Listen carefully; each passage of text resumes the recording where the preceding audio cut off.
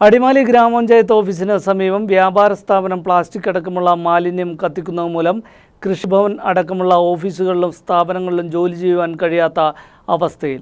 Plastic കത്തിക്കുന്നത് മൂലം ഉയരുന്ന രൂക്ഷഗന്ധമുള്ള പുക ഓഫീസുകൾക്കുള്ളിലേക്ക് വ്യാപിക്കുന്നത് മൂലം ജോലി ചെയ്യാൻ കഴിയാത്ത അവസ്ഥയിലാണ് ജീവനക്കാർ.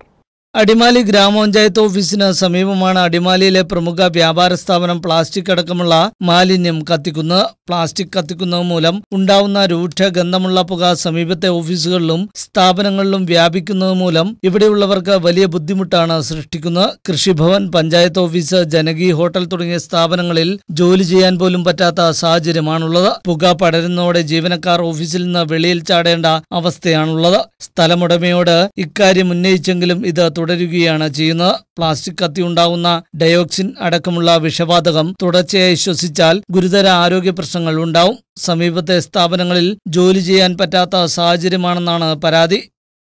പഞ്ചായത്ത് ബാക്കിലുള്ള സ്ഥലത്താണ് പ്ലാസ്റ്റിക് മാലിന്യങ്ങൾ കൂട്ടിയിട്ട് നിരന്തരമായി കത്തിക്കുന്നത്. പലതവണ പഞ്ചായത്ത് അധികൃതരോട് ഇതിനെപ്പറ്റി ആവശ്യപ്പെട്ടിട്ടും വീണ്ടും ഇതേ പ്രവൃത്തി തുടർന്നുകൊണ്ടിരിക്കുകയാണ്. ഇതിന് സമീപം നിരവധി ഓഫീസുകൾ ഗവൺമെന്റ് ഓഫീസുകളും കടകളും എല്ലാം പ്രവർത്തിച്ചു വരുന്നതാണ്. ഇതിനു മുൻപിലാണ് പകൽ സമയങ്ങളിൽ മാത്രമായിട്ട് ഈ പ്ലാസ്റ്റിക് മാലിന്യങ്ങളിട്ട് കത്തിക്കുന്നത്.